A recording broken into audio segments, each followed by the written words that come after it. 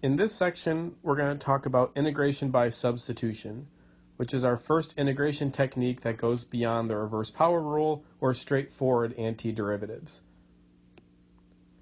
Substitution, or we're going to call this U substitution, is a technique to find antiderivatives of functions. This is a very useful technique and is going to be used extensively in all future math courses as well. In Calc 2, you're going to talk about a lot of other different techniques to find antiderivatives. Substitution is going to be one that is going to be used throughout all of those techniques. The basis behind this technique is that this goes backwards through the derivative rule, the chain rule. So in order to understand substitution, it's good to understand what the chain rule says. The chain rule is the derivative rule that corresponds to function composition, or the derivative of f of g of x is equal to f prime of g of x times g prime of x. And I like to think about this in three different steps. One, you need to, uh, I guess before this, need to identify the inside and outside functions.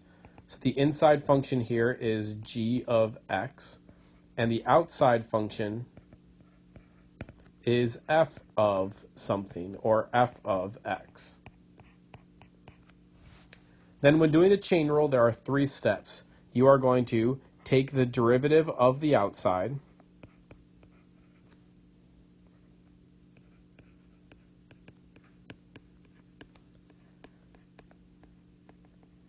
you are going to leave the inside alone.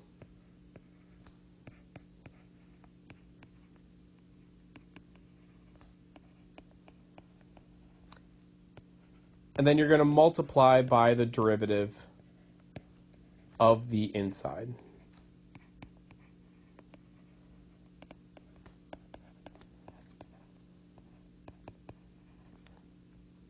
And when thinking about going backwards through that derivative rule, we're going to see in our steps that we're going to go backwards through each of those steps.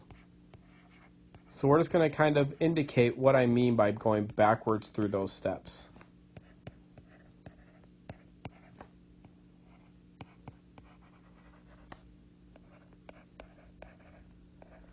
The opposite of taking the derivative of the outside function is we are going to find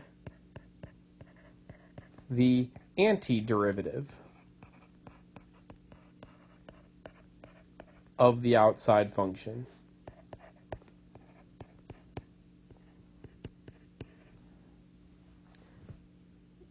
The second point is the one that doesn't work perfectly here, but the opposite of leaving the inside alone, we're just going to say is going to be leave the inside alone. In both of these steps, we need to take care of uh, not messing with that inside function.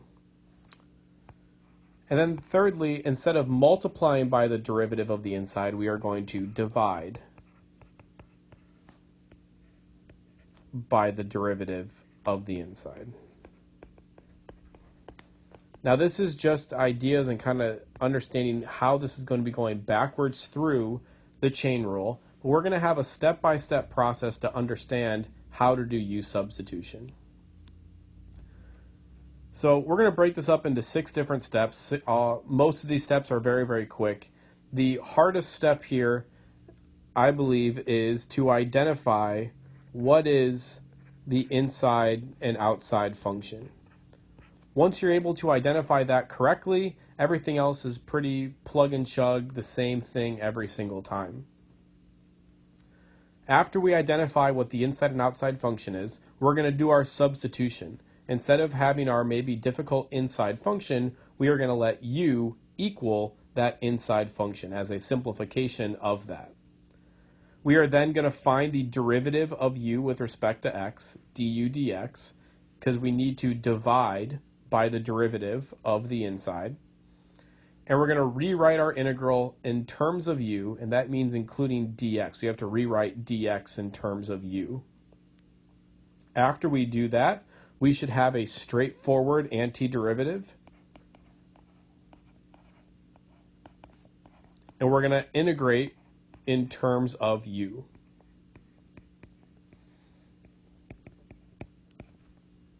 Then after that, we're going to put our answer back in terms of x. So let's jump into our first example here. We have the integral of 2x cosine of x squared. And for all of these examples, it's worth noting why is this not a straightforward antiderivative? Or you can ask yourself, is there a function that I know has a derivative of 2x cosine of x squared? And I believe it is pretty quick to realize that there is no derivative rule that just gives that to us right away. So we're going to have to think about u substitution and function composition. Our first step said to identify what is the inside and outside function. So we need to identify where is there a function composition that takes place here. And this is going to be the cosine of x squared that gives us our function composition. The 2x is part of the function, but it's going to be something else that we're going to deal with later. The only real function composition that's happening here is this cosine of x squared. And in that case, we have that the inside function is the x squared, and the outside function is the cosine of something, or we can write that as cosine of x if you want. Once you've identified what the inside and outside function is, Next step is very easy. We're just going to let u equal whatever that inside function is. We are rewriting everything in terms of a simplified u. x squared is a more difficult function to deal with. u is easier. Step 3, we're going to find the derivative of u. That is du dx. In this case, that's going to be 2x. It's the derivative of x squared with respect to x. So we're going to write this as du dx is equal to 2x. Step 4 we want to rewrite the integral in terms of u. And this is the next hardest step here is to translate everything in terms of u. First thing we're going to do is we are going to write dx in terms of du. To do that, we're going to use that du dx equals 2x, and we can say that du is equal to 2x dx. That's by multiplying dx on both sides. And then we can divide by 2x and we get du over 2x is equal to dx. Now with all of that, we can plug everything back in and change the integral in terms of u.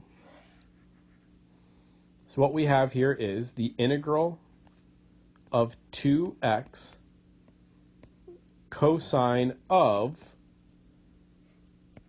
not x squared, but cosine of u.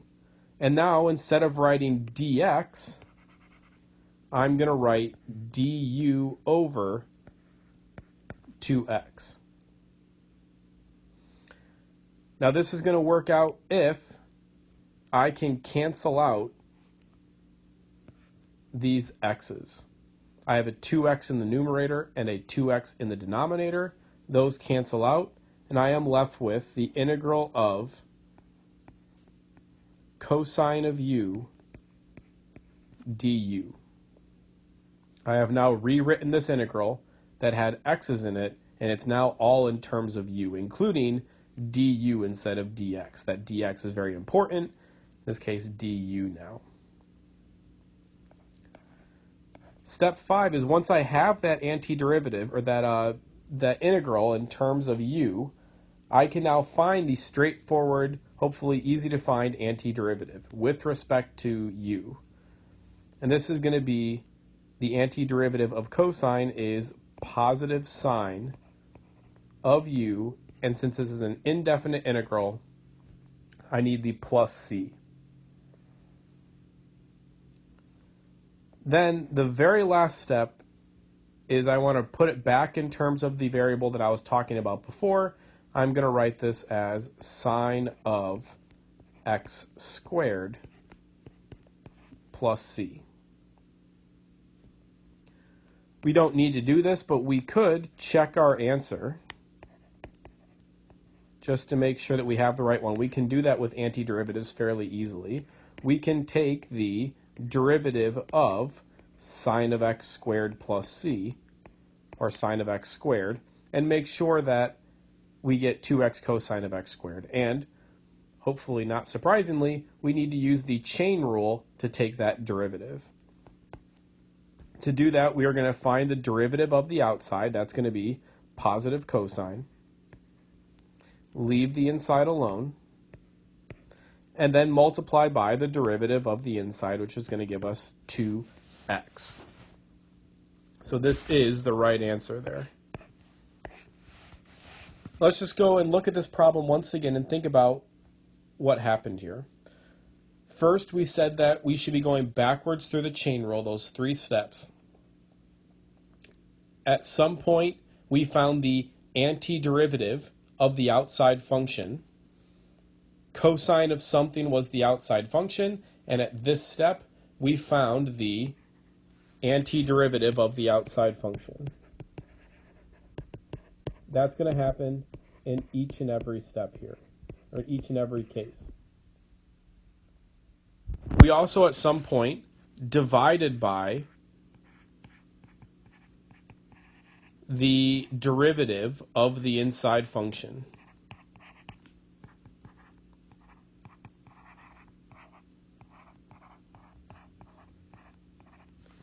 And leaving the inside alone is just making sure that we're taking our integral in terms of u, that we're not trying to mess with that in any way.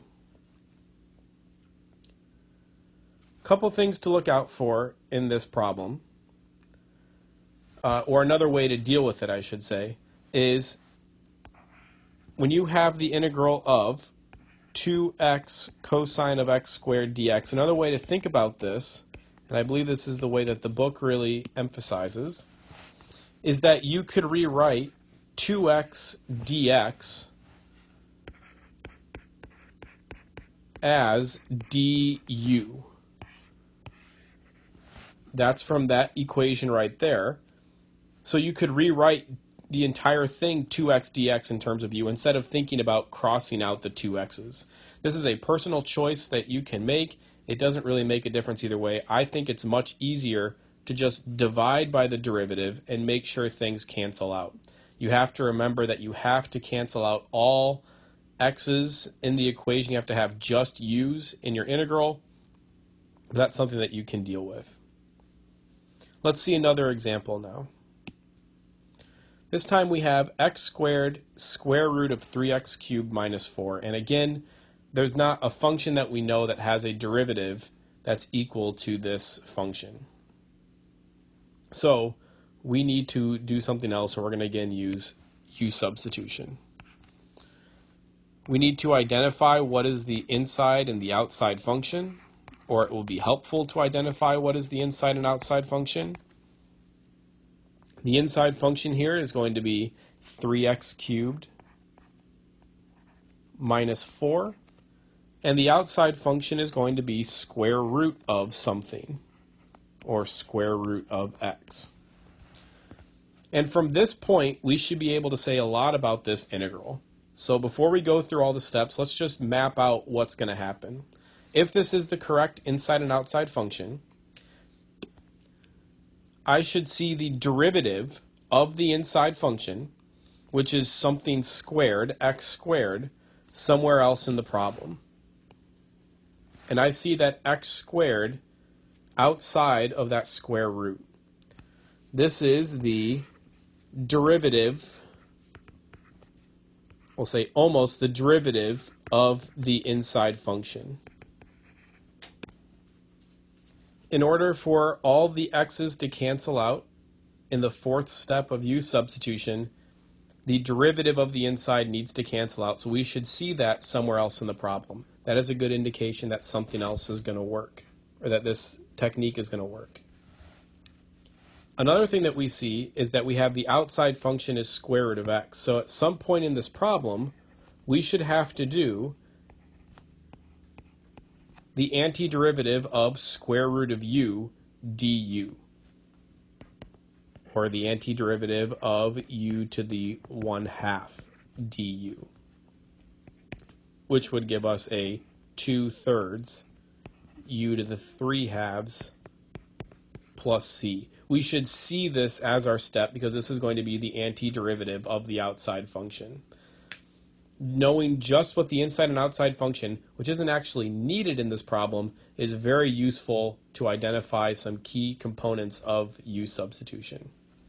Let's go through the work and we'll see how those play out. So step two here,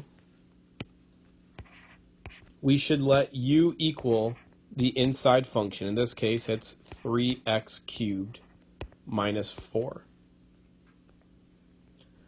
And step 3, we are going to find the derivative of 3x cubed minus 4 with respect to x, that is du dx. And that'll give us a 9x squared. We said that the x squared is like the derivative of the inside. It only differs by a constant, and that's what we need. Uh, we can bring constants in front of derivatives or antiderivatives, so it doesn't really make much of a difference. So, step four is I need to rewrite everything in terms of u, including dx. So I'm going to rewrite that equation. du equals 9x squared dx. And we can say that that is going to be dx is going to be du over 9x squared. When I rewrite everything in terms of the integral, in terms of u, so rewriting everything in the integral, we have our x squared that we haven't touched yet. That's hopefully going to cancel out. We have our square root, square root of u, times, not dx, but du over 9x squared. And this works out because we have an x squared on the top and an x squared on the bottom. They cancel out, but not everything cancels out.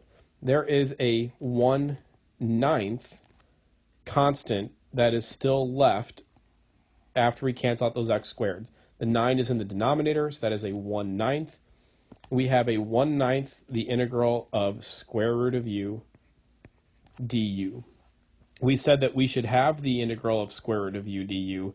There's a 1 ninth factor that maybe we didn't see at the very beginning. Now we can do this antiderivative. This is now step 5. Do the antiderivative. That's going to give us 1 ninth, that constant factor, times, we said this should be a 2 thirds u to the 3 halves. That is going backwards through the power rule, the reverse power rule, plus c. We'll simplify this. This is going to give us a 1 27th u to the 3 halves. And step 6 says that we should rewrite this in terms of x. So this is going to be 3x cubed minus 4 to the 3 halves power plus c. One note here before we move on. We said that you don't have to divide by the 9x squared. You could have written this as just the du equals 9x squared dx. But you would have to rewrite this as just x squared dx to successfully put this back into the integral, which means that you should have a du over 9.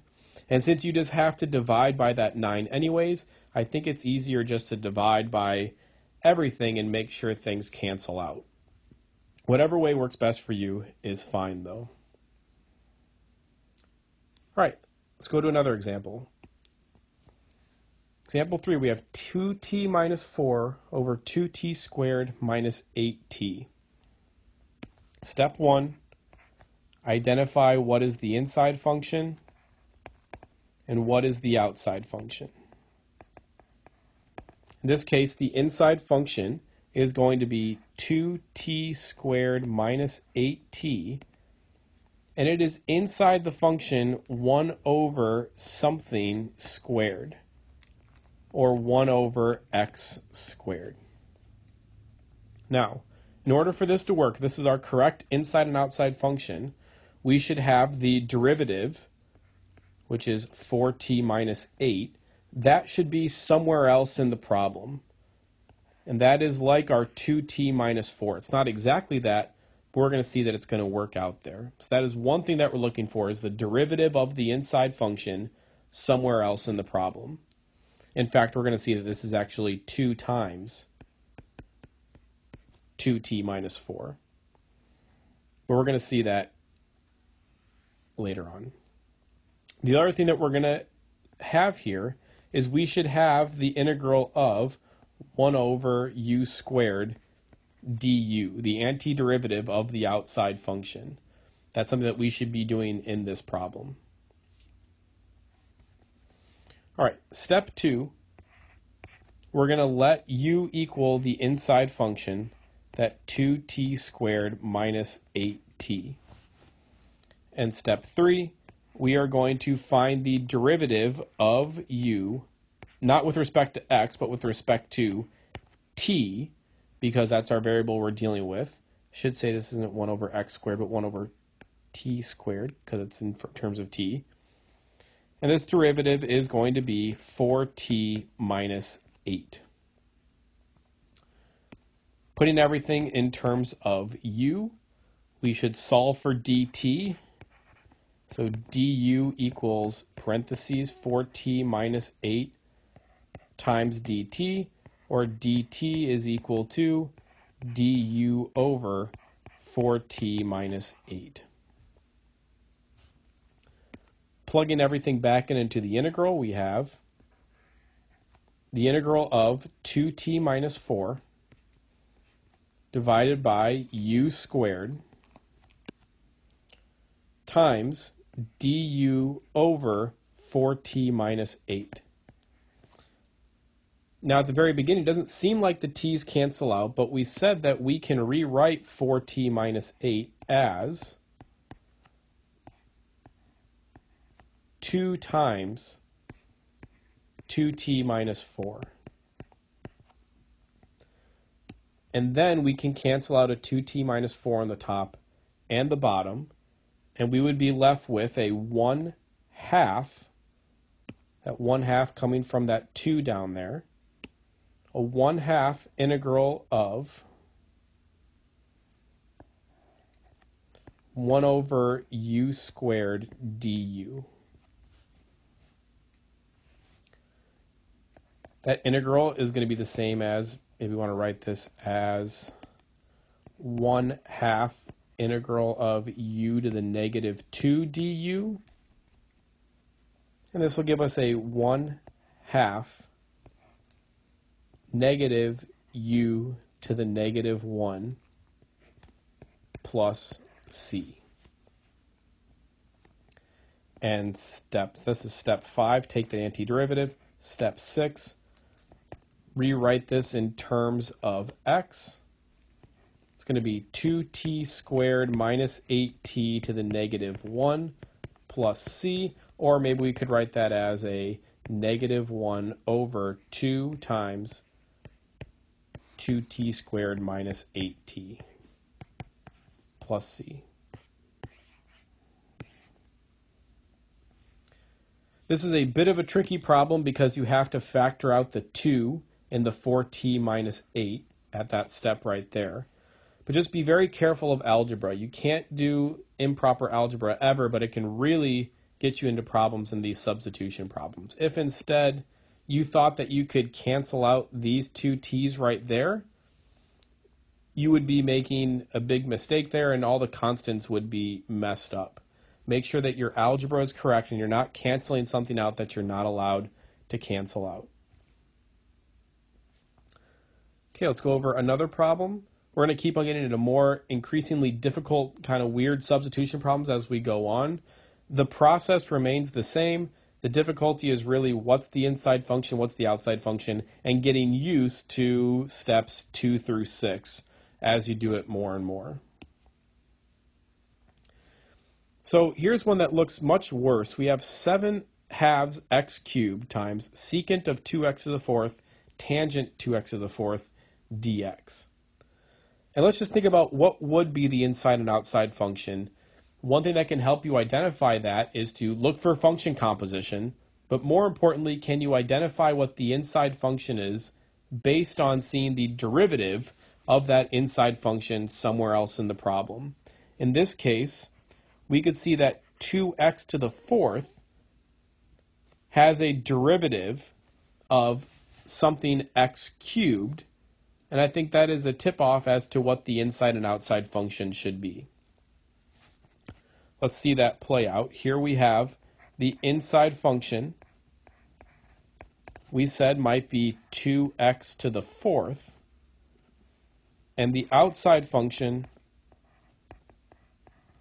would be what function is 2x to the fourth plugged into? It would be secant of something, tangent of something, or secant of x, tangent of x. And that's a weird function to have as the outside function because there are two places that you need to plug in the inside function. Let's play our little game to make sure this is going to be the right thing. The derivative of this of the inside function is 8x cubed and that matches up with that x cubed outside of that secant tangent. That's a good indication that this is going to work out.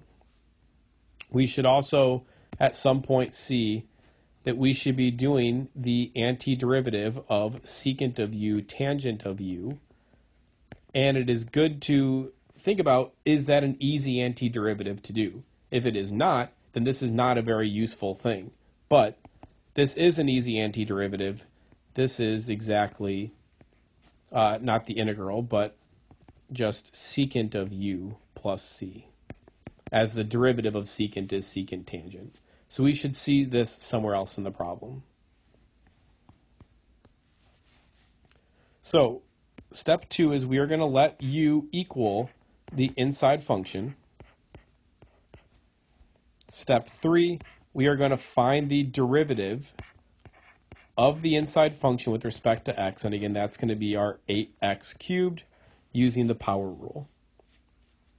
Step four, we're going to rewrite everything in terms of u, including the dx. So we have du is equal to 8x cubed dx. That means that dx is going to be du over 8x cubed. Plugging everything back into the integral, we have a 7 halves x cubed, which we haven't touched yet, times secant of u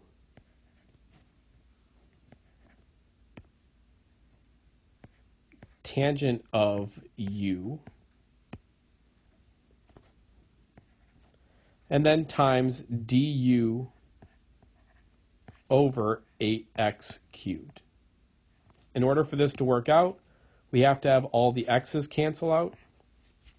And we have that happen. We have the x cubes cancel out right there. The next difficulty is how do we figure out what the constant is going to be out in front? In this case, we have a 7 halves that we can bring out in front.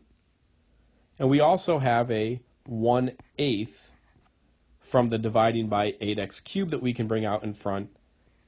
And again, we have the integral of secant of u tangent of u du. Everything is in terms of u, which is exactly what we want. It is a common mistake in substitution to start trying to plug in x back at this step. Remember that the reason we're putting in putting this here so that we can take the antiderivative of the outside function. This is an easy antiderivative to do. Plugging x back in here is just going to rework all the work that we did to get to this point. So here we have the constant out in front is 7 sixteenths. And we said that the antiderivative of secant tangent is secant of u plus c. Step 5 and step 6, we're going to rewrite this in terms of x. So 7 sixteenths secant of 2x to the fourth plus c. when we are rewriting the inside function as u, we are making this integral easier to do. We're just going to be rewriting it so it looks easier. we can't just magically rewrite this in terms of u. We have there's a cost to do that, and that cost to doing that is that derivative, that 8x cubed. You could think about we're just going to rewrite everything in terms of u, but the cost to do that is the derivative of the inside function. And hopefully that cost will cancel out with something else in the problem. So two more examples. This one is going to be difficult for a couple different reasons. One is we have bounds in the integral. This is a definite integral instead of an indefinite integral, which means that, we're just going to write this, because this is a definite integral,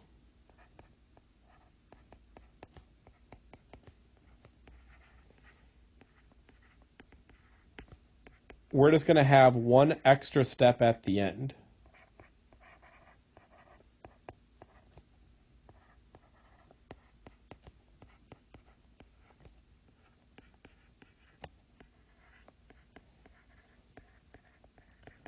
and that is uh, plugging in the bounds.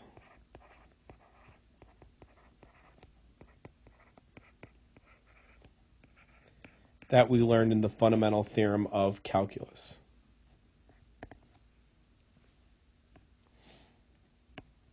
So we're not going to think about the bounds um, too much until the end, but let's just go through this. We have the integral of sine of theta cosine of theta d theta we need to identify what is the inside and outside function.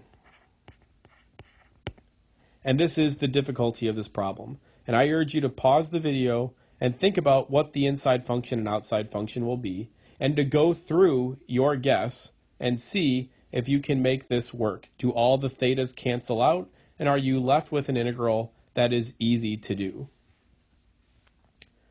after you've tried a few things, you may have found the correct answer, or you may have found some things that don't work. Let's run through something that doesn't work. That's very common. One thing that we could do is we could say the inside function is theta. The outside function here would be sine of something cosine of something. But if we do this correctly, we would have u equal to theta du d theta is equal to 1, and this should just turn everything into sine of u cosine of u du if you did things correctly. This is a good guess, but this doesn't do anything to help us out. This is the exact same integral as before.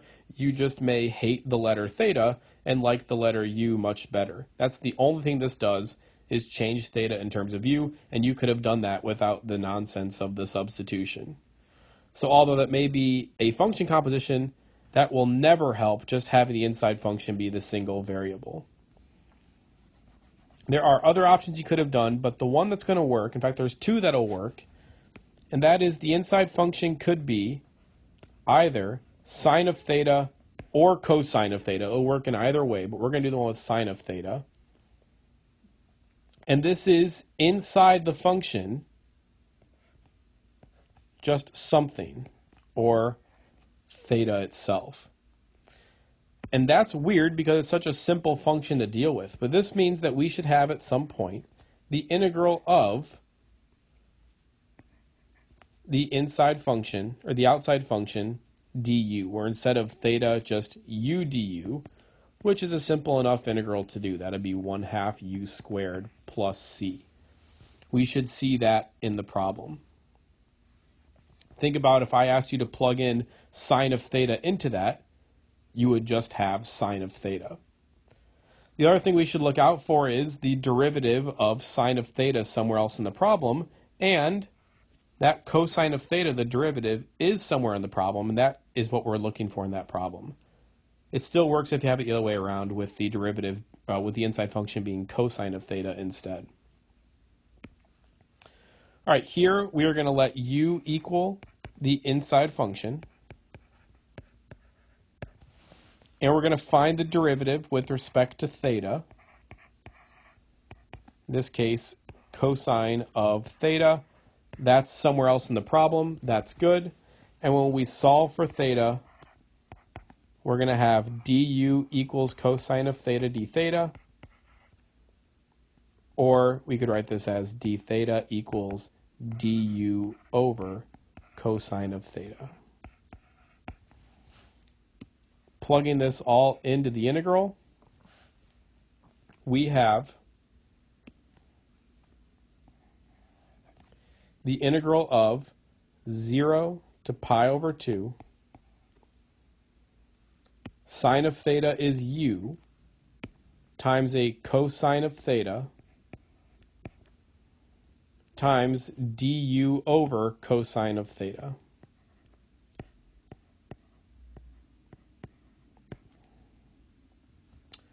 The cosine of thetas cancel out, and we're good to go, except there is one issue here, and that is that these bounds are not x values, but theta values. And in order to do this integral, we need everything in terms of u. So we need to change the bounds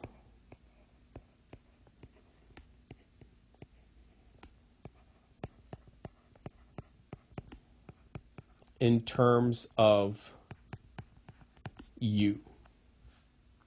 You can't do the integral unless everything is in terms of u. That includes the bounds. Now this is easy enough to do because we have a formula, u equals sine of theta, that tells us how to change the bounds. So if theta is equal to 0, then we have u is equal to sine of 0. Sine of 0 is 0, so in this case the bound is left unchanged. We have u equal to 0. When theta equals pi over 2, this means that we have u is equal to sine of pi over 2. Sine of pi over 2 is 1. So that's our new bound. And this means that we have the integral of u equals 0 to u equals 1 u du. This is 1 half u squared not plus c, but evaluated from, if you want, u equals 0 to u equals 1. That's going to give us a 1 half 1 squared minus 1 half 0 squared, which is equal to 1 half. So the bounds on the integral What's really changed is something at the very end of the problem. We have to change the bounds in terms of u so that we can take this integral correctly. And then we also um, just have to do nothing else different in the problem until we do those bounds. There's another way to deal with the bounds that we could just leave the bounds in terms of theta, take the antiderivative, put everything back in terms of theta, and then plug in the bounds. It would be the exact same work, but it's a little more correct to write these in terms of u anyways, and I think it's a little bit quicker at the end. So we're going to do it that way, and that's the way the book does it as well. All right, we have one more problem to go through. Here we have x to the fifth times square root of x cubed plus 1, and let's see how this is going to work out. Here, the inside function is pretty clearly going to be this x cubed plus 1. And the outside function is square root of something or square root of x. Now, in order for this to work out, we should have the derivative 3x squared should be somewhere else in the problem and there's a weird issue here as we have an x to the fifth left over. That is an indication that substitution may not work out, but this is a special problem that actually something nice is going to happen, and we're going to see how to deal with that in this problem. So let's run through this and see what happens. We have u is equal to x cubed plus 1 we said the derivative of that is 3x squared.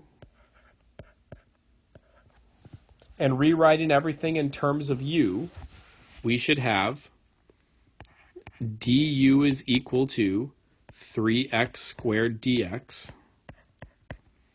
So dx is equal to du over 3x squared. And when we plug everything back in, something not nice is going to happen, but we're going to be able to deal with it. We have an x to the fifth square root of u times du over 3x squared. When you cancel out that x squared, we're not left with nothing on the top. We still have an x cubed left over. So this simplified here, we have a one third the integral of x cubed square root of u du. Now you are never able to take an integral with respect to x and u together. This is not something that we are able to do. This is a huge red flag that something may have gone wrong. Except that we can still do something with this problem. And that is we can rewrite x cubed in terms of u.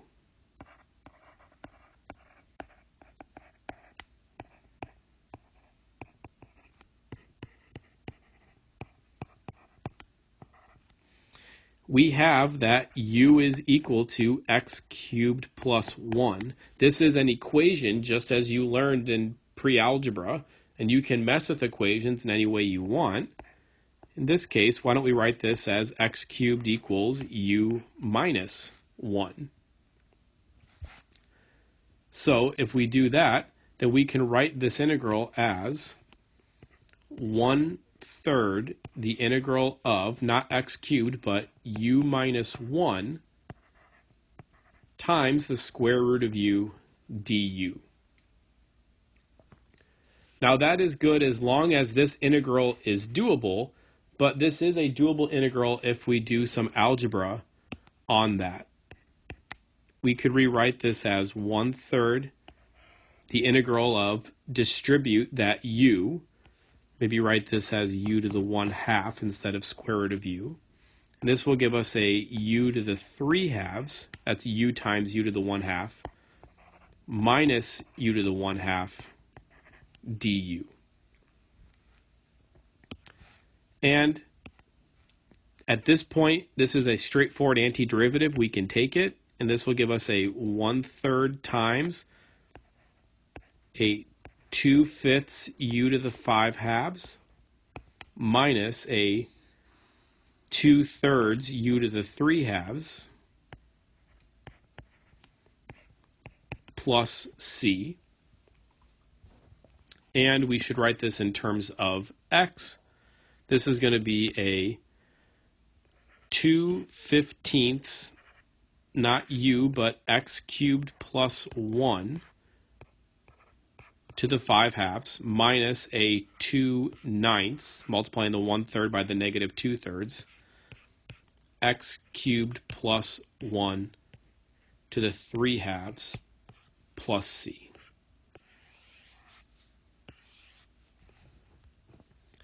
This is definitely a different kind of problem, and the key here is that this thing that we wrote at the very beginning, the u equals inside function, is an equation, and we can mess with that equation in, as long as it helps us out. Now, we could have done that in previous problems, but it may not have helped at all. The reason this works is because at the end, this is an easy antiderivative to do after distributing that square root of u into the u minus 1. So you have to be careful of using that too frequently. But just make sure that you're keeping by these derivative and antiderivative rules and don't try to make up or make something happen that doesn't work. Keep with the rules and make sure you're doing this correctly. The only way to get better at substitution is to keep on doing it over and over and over again. Things like the du over dx thing become much, much easier to do once you do them a few times and you start getting into the habit of recognizing what integrals require u substitution the more times you do it.